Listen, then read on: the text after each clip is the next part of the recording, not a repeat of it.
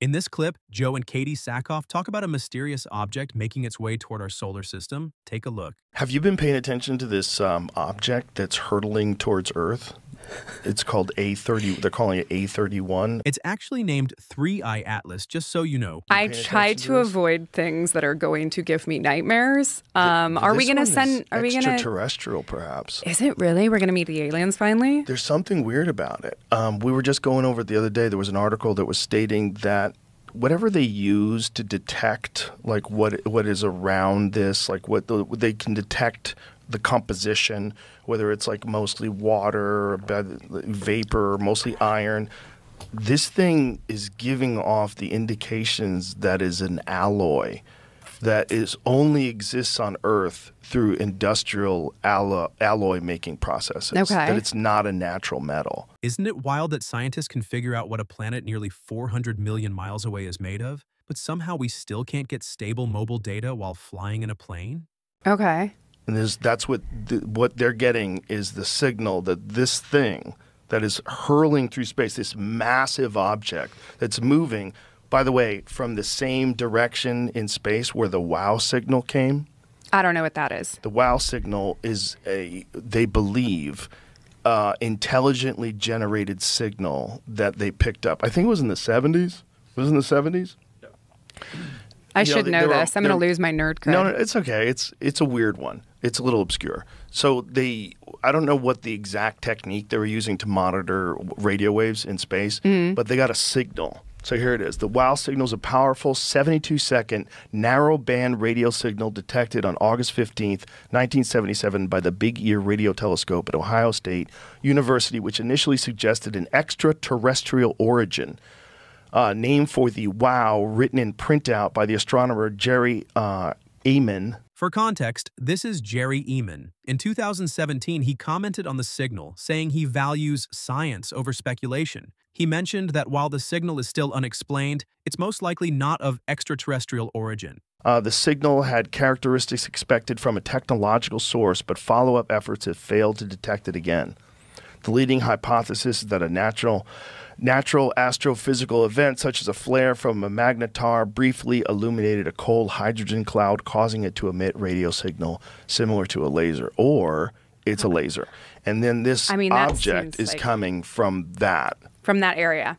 Yeah, look at that. They sent you a signal. A cool fact, they called it the WOW signal because when the data came in, Ehman literally scribbled WOW on the printout in disbelief. and then now this thing is coming through there. So if you think like how fast this thing is going, if it came from you know the other side of the galaxy, it's probably exactly how long it would take to get here. So it's coming directly for Earth? No, it's it's coming near Earth. Right. so Um, we're not worried it's going to hit no, us. I don't believe we're worried that. It's going to swing by at roughly 170 million miles from Earth on December 19th, 2025. Right now, it's hiding behind the sun, so we won't be able to spot it again until early 2026.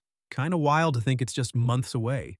I seriously can't wait to see the photos they capture when it gets that close. Well, I'm going to find out tomorrow. Avi Loeb, uh, an astronomer from Harvard, is coming Okay. on, Amazing. and he's going to uh, enlighten us as to what what this thing is all about. But That's pretty exciting. The last time Avi Loeb appeared on JRE was back on January 16th, 2021. He was there to talk about that mysterious space object, Oumuamua, which eventually turned out to be a bit of a letdown. Hopefully, 3i Atlas doesn't end up the same way. Stick around on the channel to catch his thoughts on this one.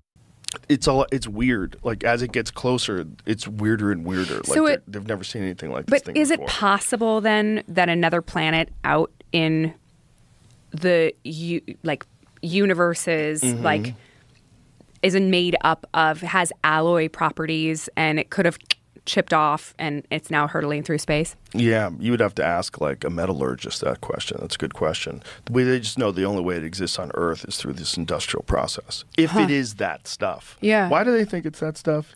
Do you remember that article? We looked it up like a couple of days ago. It um look, it's so fun to think it's a spaceship. To th- so fun to think the. Cylons are coming. Because they might be. yeah, they might be. Do you think they're coming to save us or? I think they would have already stepped in if they were going to do that. they You'd would have think stepped so. in. Yeah, sure. There's been, you know, they would have stepped in right after World War II. I They'd don't be like, hey, hey, hey, with the fucking nukes. Or maybe it all started when we decided it was fine for men to compete in women's sports. Kind of feels like that was the first big clue this whole civilization was starting to fall apart. Or do, They or do you think they're just up up there going, "You're gonna have to save yourself, kids." Perhaps, maybe, perhaps it's a process that all intelligent emerging life goes through. And then, you know, you have to kind of let it go through the process, like you have to let your kids fall down. Um, in contrast to all known comets, including the interstellar comet 21 Borisov, the observed spectrum of the gas plume around 31 Atlas shows prominent nickel emission, but no evidence for iron. Other than 31 Atlas, this anomaly was only known to exist in industrially produced nickel alloys through the carbonyl chemical pathway, which refines nickel through the formation and decomposition of nickel tetracarbonyl carbonyl, tetracarbonyl. The authors of the new paper postulate that this carbonyl process is realized naturally near the nucleus of 31 Atlas. Uh, what? I honestly don't see the point of Joe even reading this. There's no chance anyone, Joe included, is going to make sense of whatever that's supposed to mean. They argue that this in situ formation of this thing predicts that nickel should be strongly concentrated near the nucleus. So it's like the whole thing is some very weird metal. That's Right. the point. And it's it's also they're, they're it's weird the way it's moving. What are they saying about the way it's moving? There's something about self-correcting or something. I think they thought it had some emission. I don't know. Looked like a jet, but I don't think so. it seemed no, it did seem like they were saying that it's, it's very changed. far away. It's very far away. it- yeah, they zoom in and So maybe it's the they- Cylons coming back. They're like, seen we the have to go save our it? parents. You seen they got a telescope that actually took video of it? That's what amazes me is that we have telescopes that can see that far. Crazy stuff, honestly. It barely even feels real. Imagine if the whole thing was just a giant psyop meant to keep us distracted from what's actually going on. I mean, every one of these telescopes is run by NASA, and it's not like they've never kept secrets from the American public before. I can send it to you, Jamie. Um, this guy has it on his uh, Twitter page. I, but it's like it's very um, low resolution, obviously, because it's fucking millions of miles Mm-hmm. away. But uh, whatever it is, is really weird. It's really weird. I, you know, people ask me all the time of, if I believe in aliens. I think just like because this. of what I do for a living and the Of genre that. I'm in, and and you I know, couldn't wait to talk to you about aliens. What I always say, you're going to be f- vastly disappointed that I know so little about them, but what I always say is I think it's a line from a movie um, where it would be an awful waste of space if Yeah, it was just is. us. Yeah, that is a line in a movie. I don't remember what movie it was. It's from the movie with Jodie Foster, Contact. Contact, Oh. when her Oh. dad says to her that it would be an awful waste of space. Yeah, Beautiful movie. that's a great movie. Mm-hmm. For all you young folks who've never seen Contact, this is what we're talking about. There would be literally millions of civilizations out there. Well, if there wasn't, it'd be an awful waste of space. That movie is an absolute timeless masterpiece. Drop a comment below if you're with me on this one. Carl Sagan wrote that book. That's it. So this is the thing. Like, what is that? What the fuck is this? Like, obviously low resolution, obviously moving through space, but mm-hmm. also, what the hell is that? Why is it that every time something insane happens, the footage looks like it was filmed on a 2000 Nokia brick? The crazier the event, the worse the camera quality gets. Well, it seems to be moving pretty quickly, yeah? Yeah, it looks like a spaceship. I mean, it also looks it like really- a dust bunny. I was uh, showing uh, my friend Matt last night. We were having dinner, and I was showing him videos of praying mantises killing hummingbirds because he didn't believe it. Stop. He's like, no way. well, they're big. Praying mantises are- can be quite big, right? Um, not in comparison to hummingbirds. It's crazy how strong they are. Like Stop. They just literally kill hummingbirds? Snatch hummingbirds right off feeder. So they sit sit by the hummingbird feeder motionless, and the hummingbird comes in to take a drink and just snatches them, What do they do with them? eat them. Stop. It's crazy.